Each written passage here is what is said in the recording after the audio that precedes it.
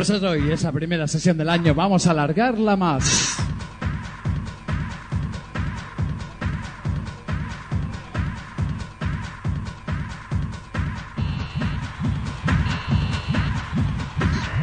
Esa fiesta continúa en el circo.